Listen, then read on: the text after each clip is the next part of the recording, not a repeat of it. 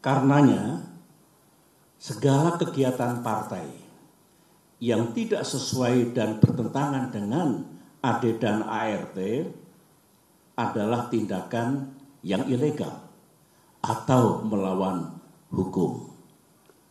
Mari kita lihat apakah KLB Deli Serdang tersebut legal atau sah secara hukum. Menurut AD dan ART Partai Demokrat pasal 81 ayat 4 disebutkan bahwa Kongres luar biasa dapat diadakan atas permintaan A.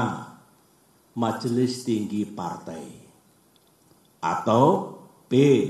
Sekurang-kurangnya dua per tiga dari jumlah Dewan Pimpinan Daerah dan satu per dua dari jumlah Dewan Pimpinan Cabang serta disetujui oleh Ketua Majelis Tinggi Partai. Mari kita uji sekarang apakah KLB Deli Serdang ini sah secara hukum. Ingat, negara Indonesia adalah negara hukum. Pasal 1 Undang-Undang Dasar 1945. Majelis tinggi partai yang saya pimpin dan kini berjumlah 16 orang tidak pernah mengusulkan kongres luar biasa. Jadi syarat pertama sudah gugur. Dewan Pimpinan Daerah yang mengusulkan KLB minimal 2 per 3 dari 34 Dewan Pimpinan Daerah. Kenyataannya tidak satu pun yang mengusulkan. Berarti nol. Jadi tidak memenuhi syarat yang kedua. Dewan Pimpinan Cabang yang mengusulkan KLB minimal 1 per 2 dari 514 DPC. Kenyataannya hanya 34 DPC yang mengusulkan, berarti hanya 7 persen dari seharusnya minimal 50 persen. Jadi tidak memenuhi syarat yang ketiga.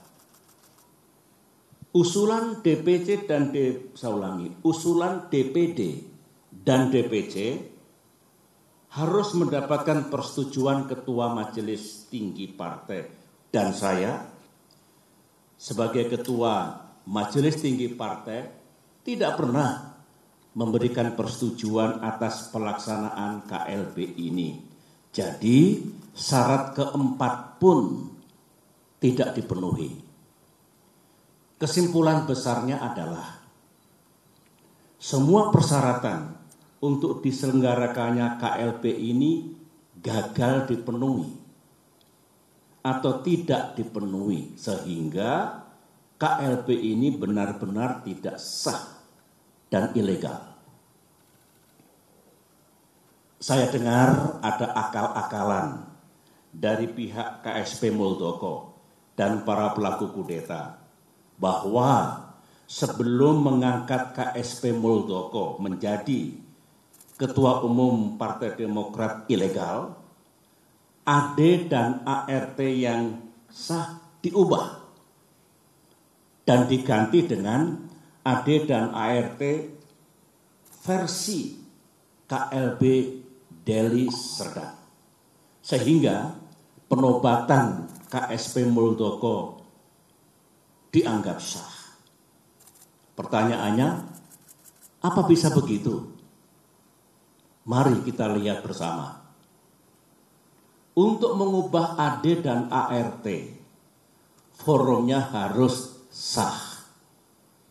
Baik kongres ataupun kongres luar biasa yang hendak mengubah AD dan ART juga harus sah.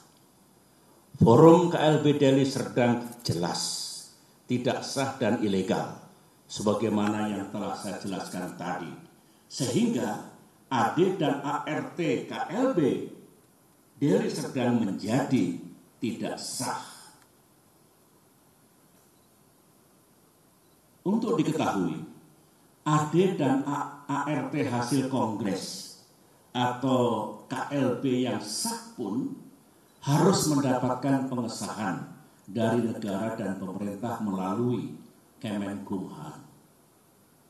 Jadi, kalau KSP Muldoko melalui telepon menanyakan keabsahan AD dan ART dan merasa cukup puas atau mengira bahwa AD dan ART KLB Deli Serdang itu sah, KSP Muldoko salah besar. Berarti KSP Muldoko tidak memahami undang-undang partai politik yang berlaku dan juga tidak memahami AD dan ART Partai Demokrat. AD dan ART Partai Demokrat. Lagi-lagi makin kuat dan makin nyata bahwa KLB Deli Serdang benar-benar tidak sah adanya.